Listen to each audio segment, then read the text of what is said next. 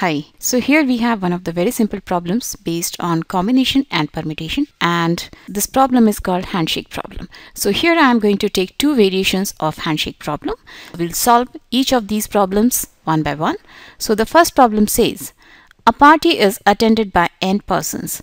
If each person in the party shakes hand with all the other in the party, find the number of handshakes.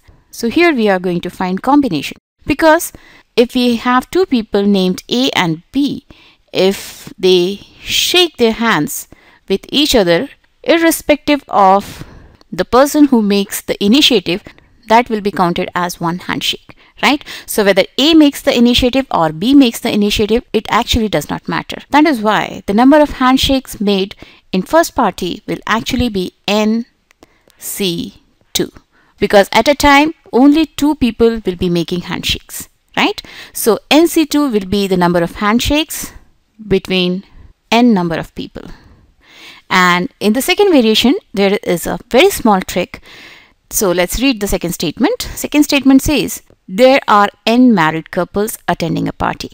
If there are n married couples, then the number of people who are attending the party will become 2n, right? Because there are n number of couples and each couple will have two people. Each person shakes hand with every person other than his or her spouse. Find the total number of handshakes. So if each person is shaking hands with every other person, then the total number of handshakes will be 2n C2. But in this case, each married couple is actually not shaking hands among themselves. So how many couples are there? There are total n couples. That means there are total n handshakes which we have to discount and that is why we are going to subtract n out of 2nc2 which otherwise would have been the normal number of handshakes between 2n number of people.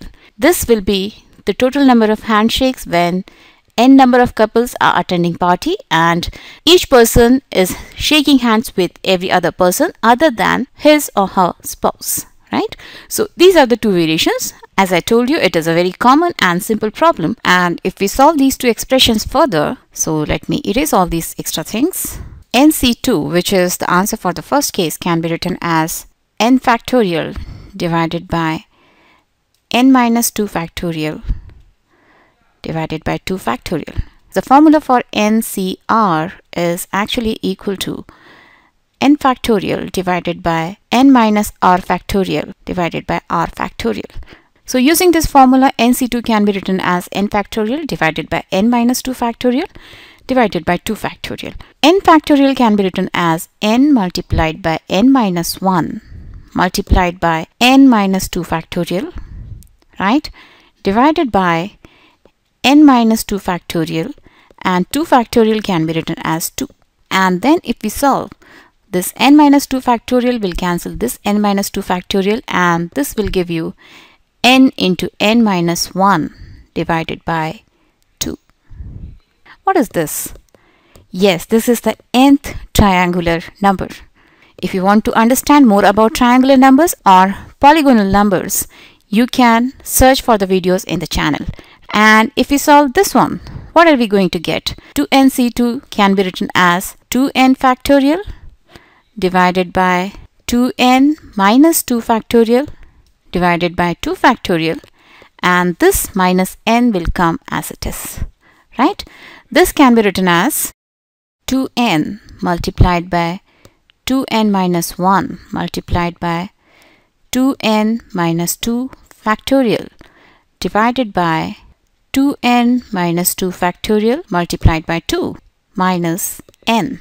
This will become this 2n minus 2 factorial and this 2n minus 2 factorial will cancel each other and this 2 will cancel this 2 and we will have n multiplied by 2n minus 1 minus n or this can be written as 2n square minus n minus n or it can be written as 2n square minus 2n which can be written as 2n multiplied by n minus 1. So this is all for the combination and permutation and after this we are going to go back to the probability. So keep watching MathsSmart and bye bye till then.